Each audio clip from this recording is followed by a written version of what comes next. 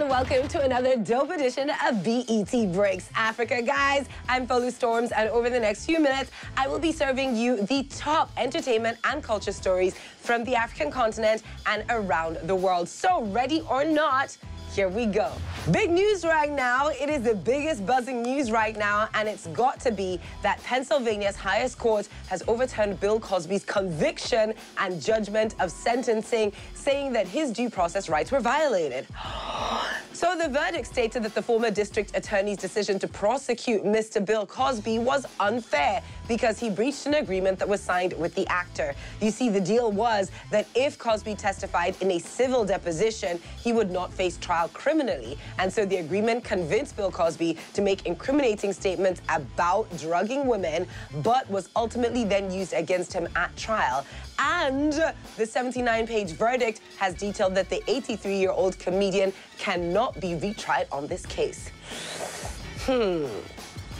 Diamond Platnumz labeled the African Michael Jackson. Okay, things have been going pretty well for Tanzanian Diamond Platnumz. And to be fair, from inking a partnership deal with Warner Music Group a couple months back to being nominated for Best International Act at the BET Awards 2021, again, he was recently spotted in a video online at a studio session flanked by Busta Rhymes, Swizz Beatz, OT Genasis, and others. And in this video, Busta Rhymes specifically talks about Diamond, saying, let me zoom in, let me zoom in on Michael Jackson from Africa, Diamond Platnumz. That's high praise, y'all. Now, this is not the first time that Diamond is working with uh, the producer Swizz Beatz, but clearly there are new developments in the works, in the offing, and we should expect to be treated to more great music and collabs. And as always, it's Africa to the world, baby. You know the vibes. Ubi Franklin is not taking the Father Abraham jokes at all. I know it's Friday, but you know, stop it. The internet can be a savage place, and popular Nigerian talent manager and entrepreneur Ubi Franklin is meeting the savagery with violence.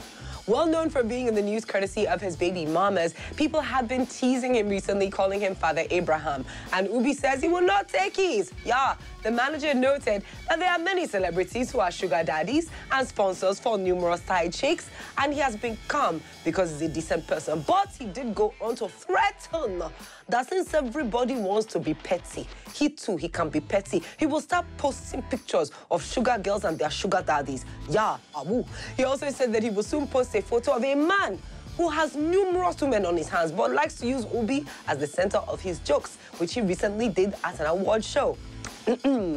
he has warned everyone to stay in their lane because he has receipts and Ubi is willing to release them. So, as he said, make una no try Ubi, oh no. I am storm-struck this Friday by Cassper Nyovest out with a new album. Hey!